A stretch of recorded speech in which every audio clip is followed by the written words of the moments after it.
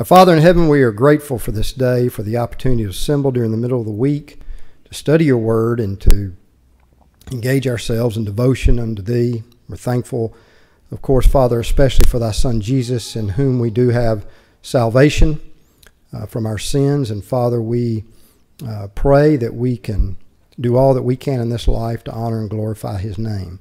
Father, we are thankful for this series. We're thankful for Brother Bland and his work and, and for the message he'll deliver tonight. And Father, we pray that if there are those uh, here tonight or throughout this series that need to respond in obedience to the gospel, we pray that they'll do so. Forgive us of our sins and go with us now, for it's through Christ we pray. Amen.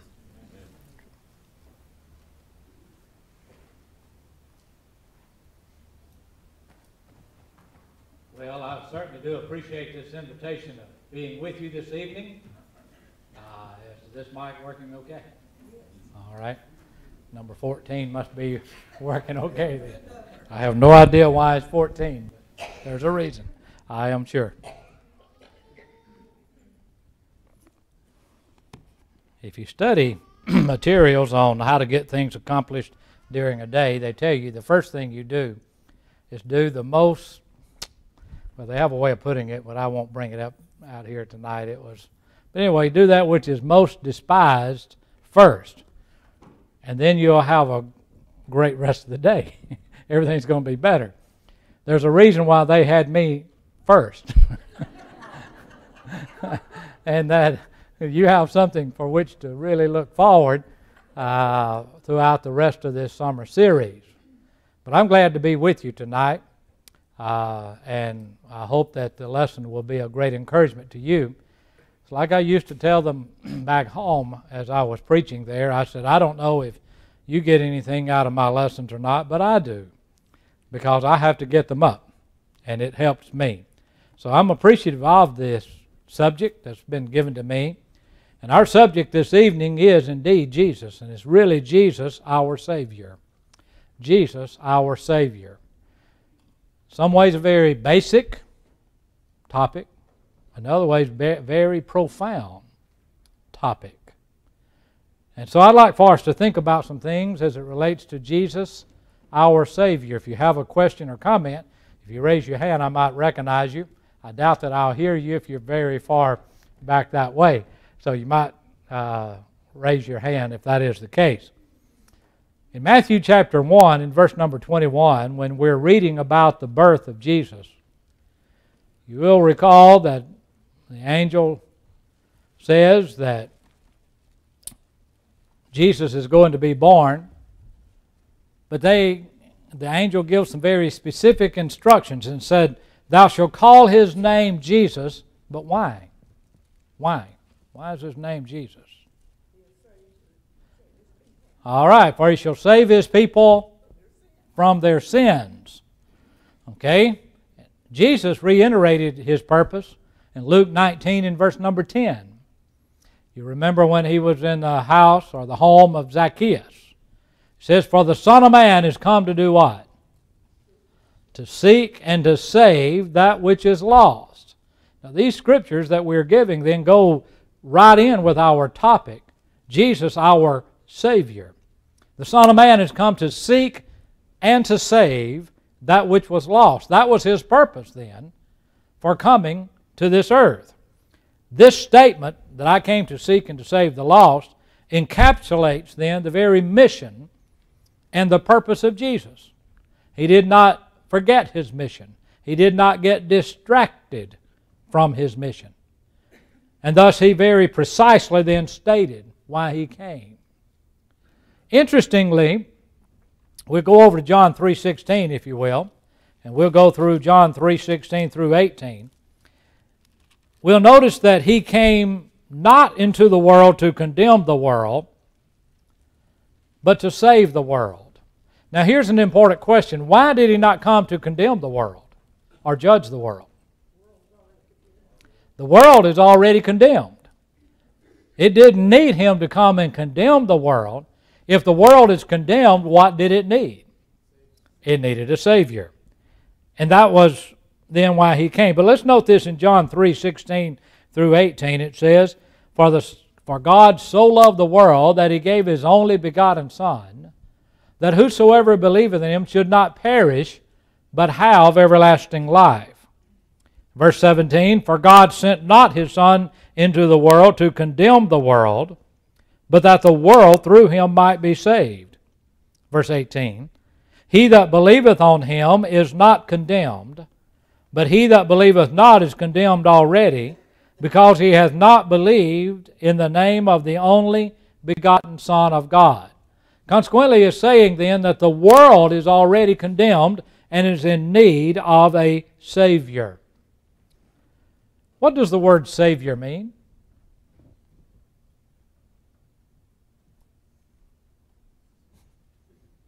That's right, deliverer.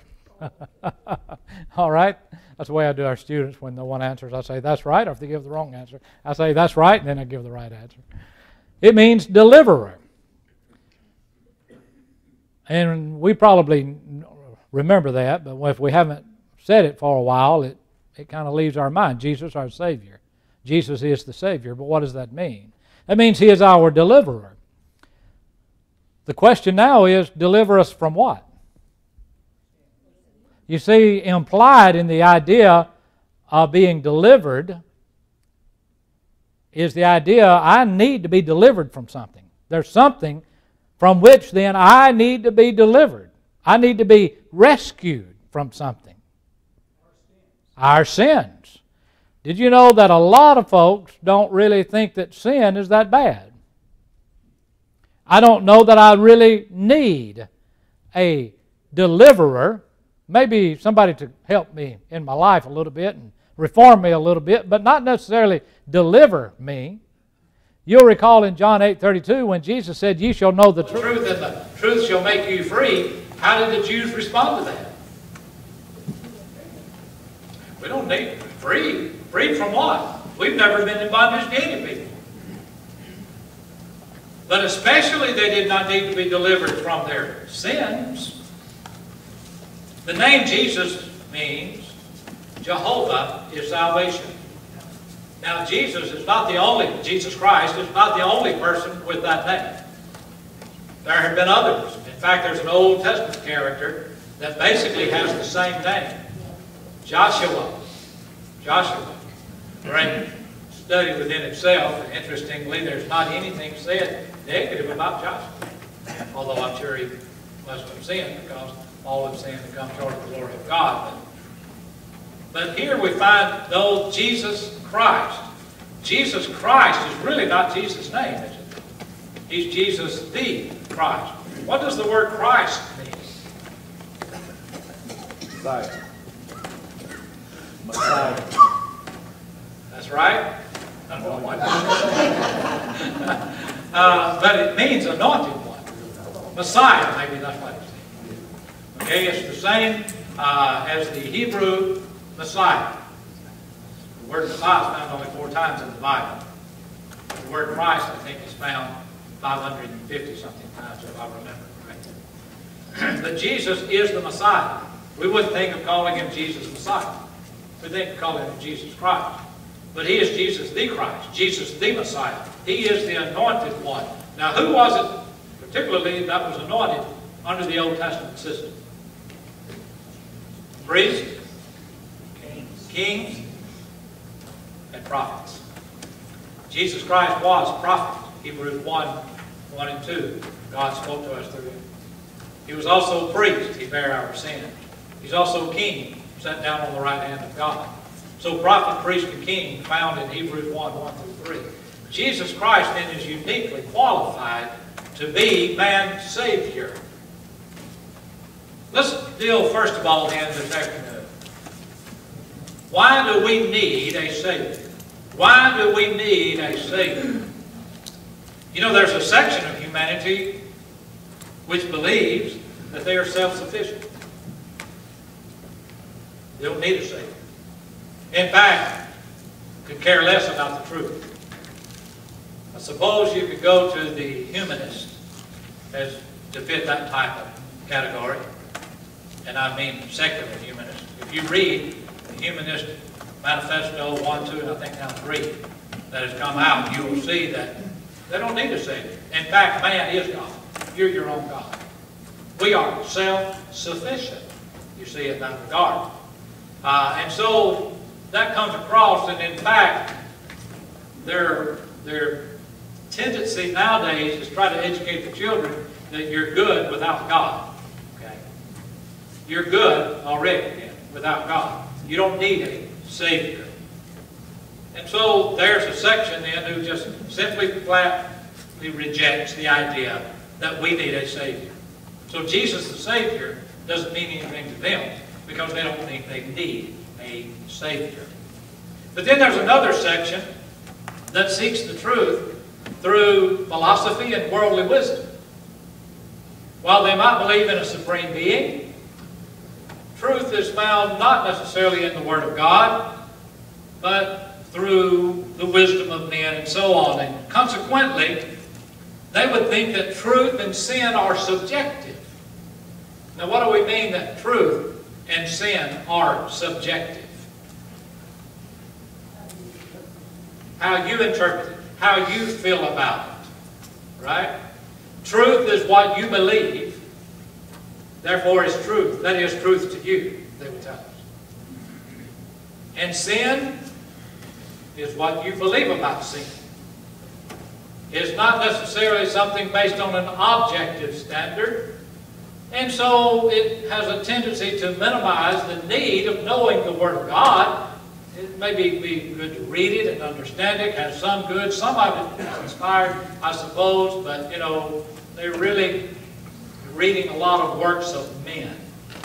Uh, and I find this, especially is this the case out here in the religious world outside the church, where people are really drinking at the fountain of human wisdom when it comes to about God. And you see it on the televangelists, make everybody feel good about themselves and, uh, and so on. But then there's another group who might think that there is an objective standard and that sin is real, but we minimize sin. Sin is really not all that bad. And the consequences of sin aren't really that bad. So we excuse sin by saying, that's just the way I am, or it's somebody else's fault, couldn't be mine. I made a mistake, but we all make mistakes. See, I minimize that. And the consequences of sin, you know, God is like a grandfather. He's a good person. He's not going to send me to hell. I have good thoughts, and therefore I'm not really all that bad. And so we began to minimize sin, and consequently we minimize salvation. Because we look at the death of Christ, and we see the abuse that Jesus went through. I mean, when they spit in his face, and when they put those crown, uh, put that crown of thorns on his head, and when they tore open his back with that scourge, when they nailed him to the cross and they left him there to die, and they mocked him even while he was on that cross, that tells me sin must be pretty bad. Sin separates us from God. It separates us from God. And he knew that, didn't he? Now then, all of a sudden then, sin is becoming more important to recognize what it is doing to me. Right? And consequently, God knows the effects of sin. But here's the point. The Word of God does not spare our pride and our self-exaltation. It doesn't spare that. It tells us what sin is. Okay? It tells us what our condition is. It states that our condition outside of Jesus Christ is lost. Okay? It also says that we are condemned. Have you ever seen anyone stand before a judge and, you know, they think that maybe I'm going to get away with this and then when the sentence comes down and it's a little bit more harsh than what they thought it was going to be and all of a sudden this, this just can't happen. this just cannot happen. Uh, I've had to, to, deal with some things and in a, in a way, I, I guess I ought not to get into things like this. I think there's been a reformation in the boy's life, but we had a student here a number of years ago And unfortunately, I've been here about 20 years now, so you have no idea who I'm talking about. All right? It was my first year, you won't know who was. But I remember uh, this, you know, we have a strict rule on smoking over here at the school of preaching. You can't do it. All right? And so now then, but this boy admitted he was smoking, and I said, well, I read the rules to him, and I said it is subject to immediate dismissal. This was a number of years ago, okay? I remember his reaction was, he said, that won't work. I said, excuse me. He said, that won't work.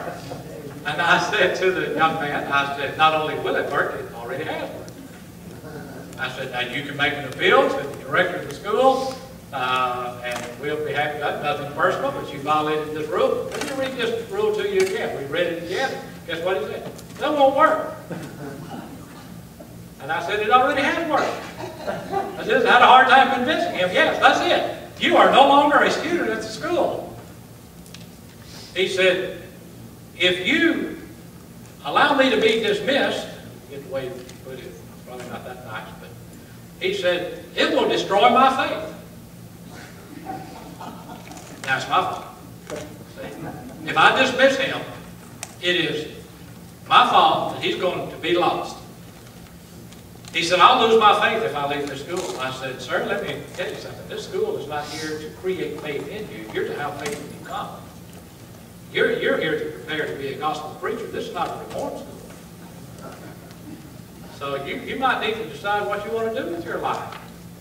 Now, so I think everything worked out. I think he's going to turn out to be a gospel preacher, hopefully one who doesn't smoke. But, but at any rate, I just thought of that reaction. I actually, on another occasion, well, this is confessing all their sins. But, those are a lot easier to confess. But I, I, on another occasion, a man turned in a term paper to me that I knew was not his. I mean, it was written on a doctorate level. And I knew he wasn't at that level yet. And I, I read this, and, and so what I did is I found it on the internet. And that's and I turned my screen around, and I called him into my office, and I held up his paper by my screen, and I said, where did you get this paper? He said, it's my paper. I said, but where, where did you get it? He said, I got it off the internet. I said, that's plagiarism. Are you calling me a liar? I said, I'm saying you plagiarized this paper. Now, your term is a liar, mine is plagiarizing. He said, it is mine, I downloaded it, I wrote my name on, on the paper, and it became mine. And, he, I mean, he looked dead serious at me. And, and I don't understand that. I, I couldn't look at my mother and lie. I mean, I knew I was going to get a beating if I got caught lying. And, you know, she knew. About the second time she asked me, I'm going to tell my sins and my brother's sins. and, uh, because, but I thought, I'm looking at this guy, and he's about got me convinced it's his paper, and I'm reading it right here. I said, not only that, it teaches error. But that was the problem. He didn't know enough of the truth to even know what he turned in was error. But it's my fault. People don't sin anymore. It's somebody else's fault. See? So we're living sometimes in a society where sin is not all that bad. But in Romans 3 and verse 10, Paul just disallows all of that. And he said, There is none righteous, no, not one. Now that includes me. That includes you. And the Bible says, all have sinned and come short of the glory of God. Now that means I have sinned. So, friends, what we need to understand is that sin is more than just making a mistake. Sin is the transgression of God's law. 1 John 3, 4, Whosoever sinneth transgresseth also the law, for sin is what? The transgressions of God's law. Whether I believe it or not, whether he might know it or not, I have transgressed God's law. That's an objective standard. And consequently, I have sinned. I need a Savior. But Sin is also the violation of any of God's law, for all unrighteousness is sin. 1 John 5 and verse 17. I'm getting a, a picture here now. I'm the one that's sitting over there saying, I'm the one at fault now, see.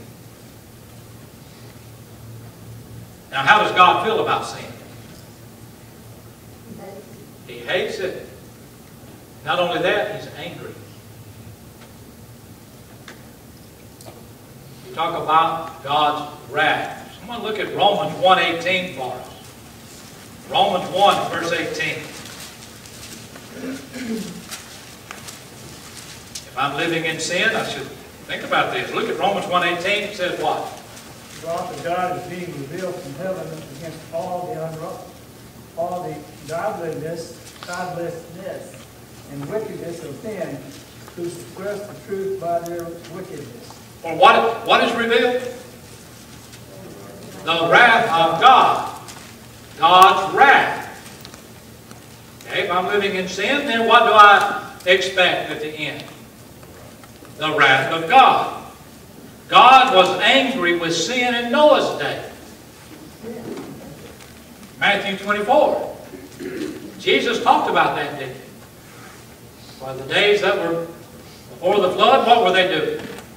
They eating, drinking, marrying, giving in marriage, and knew not till the flood came and took them all away. He says, so shall also it be when the Son of Man comes. So what were they doing? Just like what we're doing today, out here in the world I'm talking about. We're marrying, we're giving in marriage. We're just living our lives and we're going about every day. But they're living in sin, and then the flood came and took them all away. That was, they experienced the wrath of God. Sin took Israel into Assyrian captivity. In 722 BC, God had sent prophet after prophet, Israel would not listen. Finally, the Assyrians, a very wicked and cruel people, which we don't have the time to discuss the cruel acts that they did, but you didn't want to be captured by the Assyrians. God brought the Assyrians, though, against them and took them into Assyrian captivity. Why? Sin. They wouldn't listen to God. Israel's sister Judah did not learn.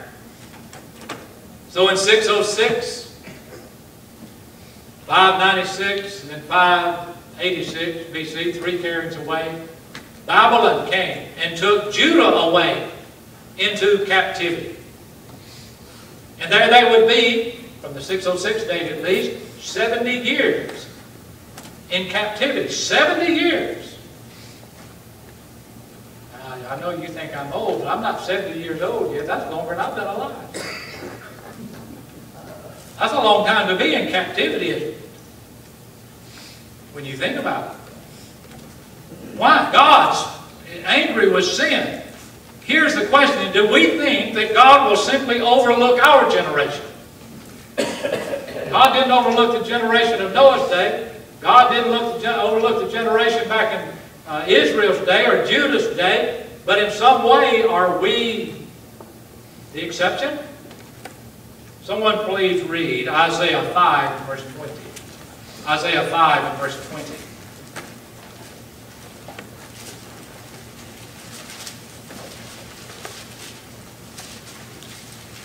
Woe unto them that call evil good and good evil, that put darkness for light and light for darkness, that put bitter for sweet and sweet bitter. Okay. Woe to them that call evil good. Do we have any in society today calling that which God says is evil, man says is good? All the time. And good evil. You, especially you bring up God, you bring up Christ, you bring up the Bible, that's something that's taboo in our society, many places. That put darkness for light, and light for darkness, and that bitter for sweet, and sweet for bitter, calling it the very opposite.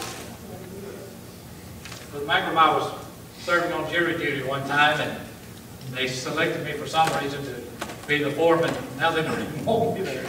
They usually exclude me when they learn I'm a preacher. But, but I remember this guy, it was obvious he was guilty. And, uh, I mean, the, uh, the attorney did a great job, prosecuting attorney, trying to say, if you, I want, I want you to understand, he set out at the very beginning, I'm here to put this man in jail. If you have a problem with that, I want to know it. Well, that sounded pretty straightforward, didn't it? But he said, because I don't want you to get into the jury deliberation and say you can't find anybody guilty even though you know he is. That was his purpose.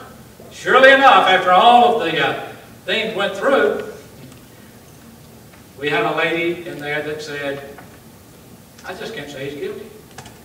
I mean, all the evidence to the contrary notwithstanding, he's just not. We said, well, why? What, what problem do you have? What is it that you think he's not guilty? I just can't say anybody is guilty. And I said, ma'am, do you realize that it's just as wrong to, to say a guilty man is innocent as it is to say that an innocent man is guilty? And I quoted Isaiah 5.20 to her. She said, well, I know he's guilty. I guess if that's in the Bible, guess I'll vote guilty. So we got that vote her. Thank God on that. I saw a man a year later who was also on the jury duty, and he said, Preacher, if you hadn't been in on that jury duty, we'd still been sitting in that jury. what I'm saying is there is an objective standard. But the world to say nobody's guilty. If we're guilty, let's accept that. There's a, there's a way to overcome that. That's the point. But God sees us as guilty, and we're not going to, you know, just, oh, God's not going just to overlook it. If He were going to overlook sin, oh, Jesus really went through a lot of pain for no reason. If God says, don't worry about it, I'm going to look, overlook everybody's sin. The point is this, we need a Savior. Why do we need a Savior? Because we're guilty. We've sinned.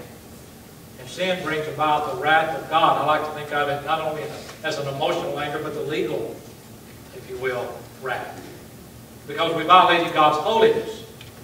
Not that God is angry with me as a person, but I can't live in sin because that violates His holiness. But I'm grateful then that He's merciful. Therefore, it took a sinless, one who was guiltless, to atone for my sin. You see, if Jesus had sinned, He would need a Savior. But Jesus did not sin. Therefore, He came to accept your penalty and my penalty. And He says we can go free if we accept that. But if we want to do it all on our own, He'll allow us to try that. There's no secondly then that Jesus is our Savior. You see, God knows our predicament. Now, our next two points are going to be very brief, so don't, don't worry. We'll, we'll get through on time.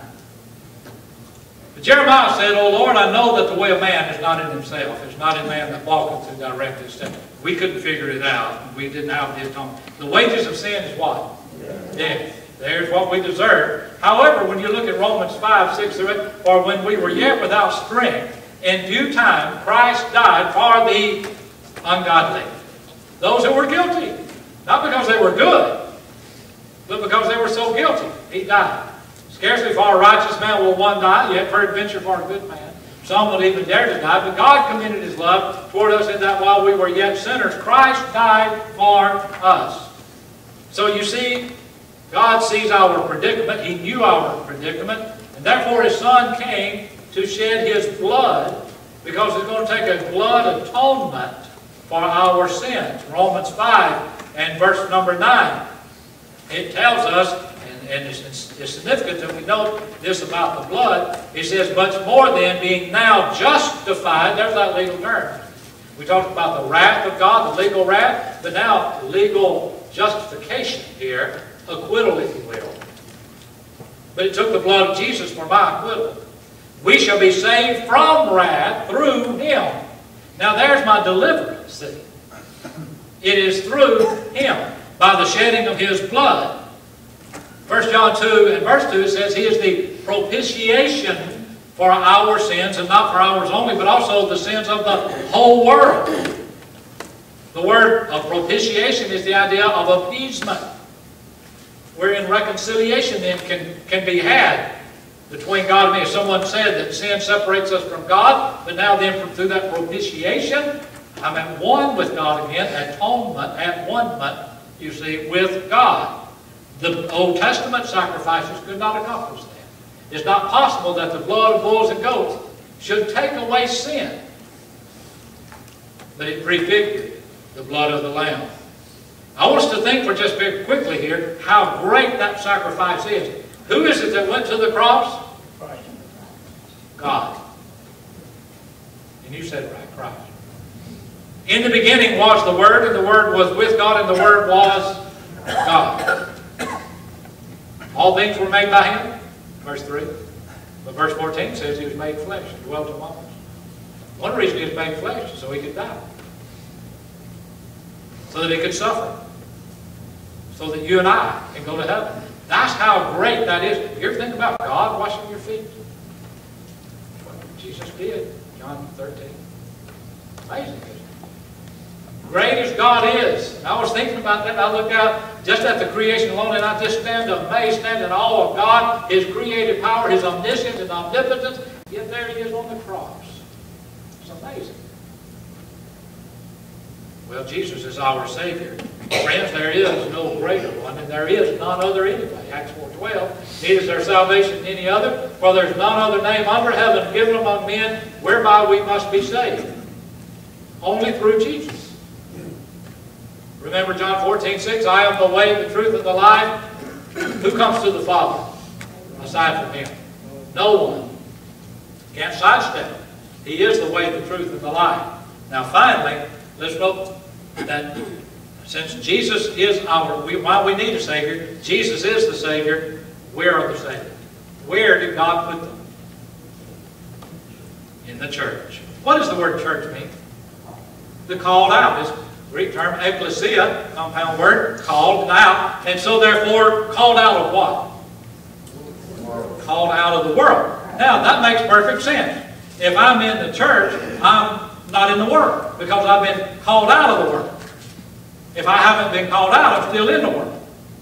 You see, then if I'm not in the church, where am I? In the world. If I'm out of the world, I'm in the called out. There's no other place to be. I want to be in the called out. You see, Jesus built His church then, which contains the saved. Matthew 16, 18, He said, I will build my church. He had a purpose it. In Acts 2.47, praising God and having favor with all the people, and the Lord added to the church daily such as were being saved. Where did God, where does Christ put the saved? In the church. I haven't seen him placing them anywhere else. That's the only place he puts them. Is in the church. We're talking about Christ's church. You see, the church is his body, it? Ephesians 1, 22 and 23. Now, what, what purchased the church? The blood of Christ. Now, what did we read a moment ago? I said this is very important to see this connection. Romans 5, 9, we're saved by what? His blood. He purchased the church with his blood. There's got to be a connection then between the blood of Christ and the church of Christ. If I've been cleansed by his blood, I'm in that blood-bought institution called the church. The only way to meet his blood is through immersion in water for the remission of our sins, which the Bible calls baptism.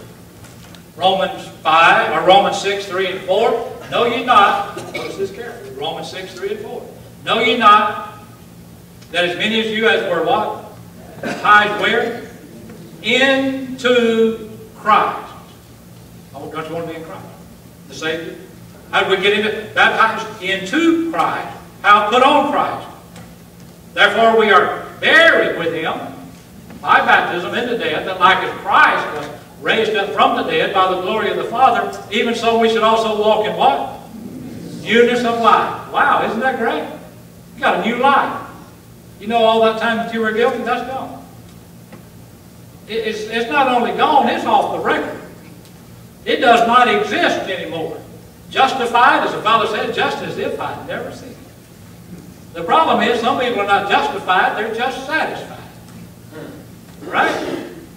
Are you just satisfied or are you justified? Well, I want God to be uh, satisfied. then I'll be okay with Him. Jesus is the Savior of the body. Ephesians 5, 23. I need to be in the body. Husband is the head of the wife, and Christ is the head of the church, and He is the Savior of the body. Now then, let us know also that we are saved for a purpose. Why are we saved? You say, well, to go to heaven. That's right, but we need to do something besides keep bread from molding until we get there. In other words, we have a purpose about us. Titus 2.14 says what? Who gave himself for, our, uh, for us to redeem us from all iniquity, that he might purify unto himself a peculiar people, zealous of what? Good works.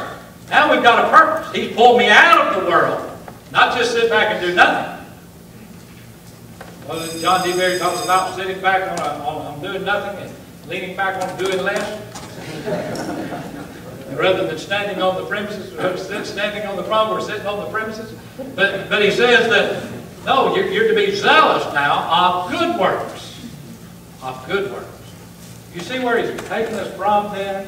What, what the purpose of life, it puts a spring in our step. Consequently, what we have seen this evening is that we need a Savior. Jesus is the Savior, and the saved are in His church. I'd like for us to close with Luke 2, 8 through 11. And the scene is this. This is probably a very ordinary night.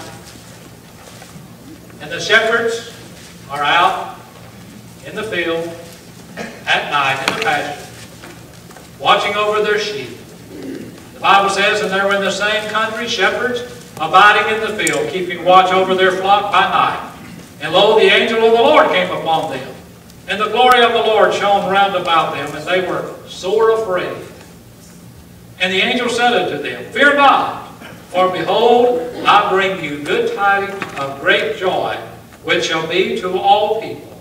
For unto you is born this day in the city of David a Savior, which is Christ the Lord.